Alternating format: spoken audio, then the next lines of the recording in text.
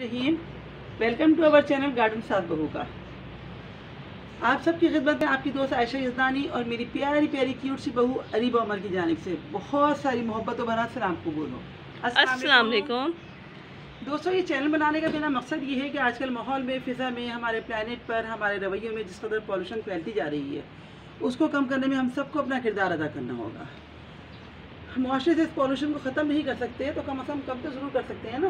अपने गार्डन का चैनल का नाम गार्डन सात बहू का रखने का मकसद भी यही है कि सात बहू जो हमेशा हमारे मुआरे में रकाबत का रिश्ता तस्वूर किया जाता है।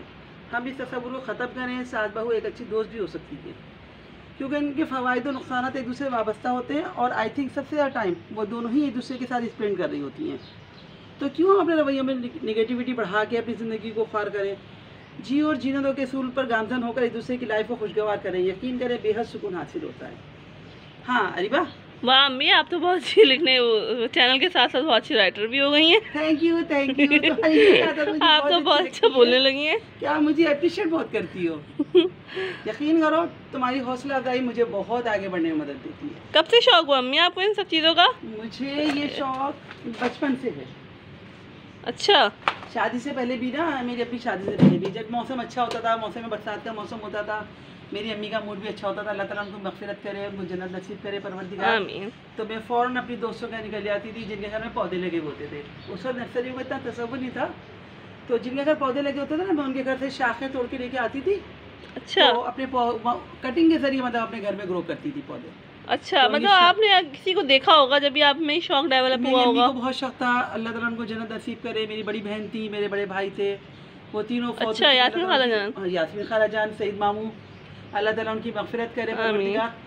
तो उन सबको बहुत शौक था। तो उनको देखा देखी मुझे भी बहुत शौक हो गया। यानी हम जब अपनी अम्मी का मूड अच्छा देखते थे हम कहते थे अम्मी पौधे दिला दे थोड़े से। नर्सरी पहुँच जाते थे। यासिन माजी अब घर पे आती थी हमारे से मिलने के लिए। हम ले, लेने के लिए पहुँच जाते थे पौधे। अच्छा।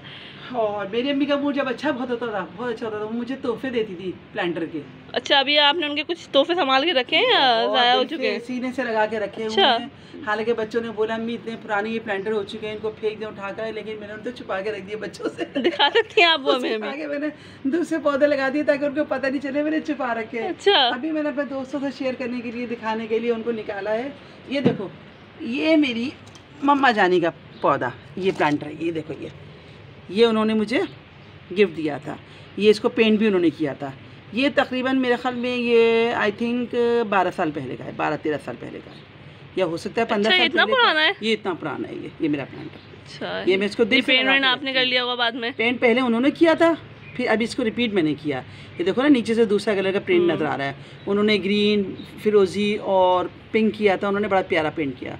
उनका मुकाबला तो खैर हम नहीं कर सकते लेकिन बस गुजारा करने के लिए मैंने क्योंकि वो पुराना पेंट हो चुका था उसको यूज़ वो किया। अच्छा ये जो प्लांटर आपको नज़र आ रहा है ये ये मेरी अम्मी ने तकरीबन मुझे तीस साल पहले दिया था। अच्छा। ये तीस साल पहले दिया था। ये पूरा एक ऊपर से दरख्त की शेप थी ये। अब तो खैर झड़ गया ऊपर से टूट गया ये।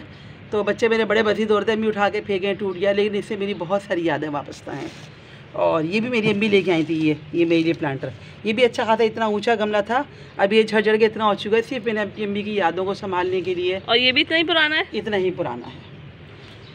ये भी तकरीबन हाँ तीस इकतीस साल पुराना है। बस मुझे मेरी शादी के शुरू दिनों में अम्मी ने मुझे गिफ्ट दिया था जब और शुरू से मेरी आदत है जब मेरी एनिवर्सरी आती है जब मेरी बर्थडे आती है मैं अपने दोस्तों को पटाना शुरू कर देती हूँ मुझे प्लांटर दे दो मुझे पौधे दे दो।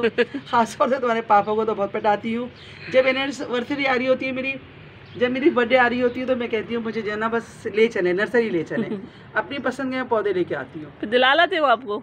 माशाल्लाह माशाल्लाह अब दिल लाते हैं। जब देखती हूँ ना मूड अच्छा होता तो फिर लेके आती हूँ उनको।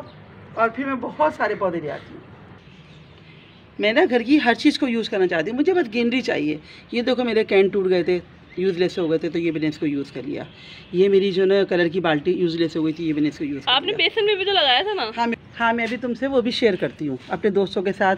देखो ये हमारा ये हमारी बेसन है ये यूज़लेस हो गया था यूज़ नहीं हो रहा था तो इसमें मैंने पौधे लगा दिए। और ये जो है ना मेरे ये कलर की बाल्टी ख़त्म हो ख़त्म हो गई थी उसको भी मैंने यूज़ किया। ये मेरे बेसन की नाली थोड़ा सा नीचे ले गया उसको कैमरे को। ये इसको बेसन की नाली है मैंने इसको भी यूज़ कर लिया। इसके अंदर भी मैंने अपने पौधे लगा लिए और ये मेरा ड्रेन पाइप था तो ये मैंने इसको भी यूज़ कर लिया ये। इसके अंदर भी लगा रखे इससे पहले मेरे फ्रिज की वो एक वो हार क्या कहते हैं उसको? फॉबिक वो जो। निकलता है? फॉर्मिंग वो गत्ता सा निकलता है बहुत सारा। उसमें हाँ, खाने थे। मैंने उसमें सब पे वो, वो लगा लिया था पुदीना।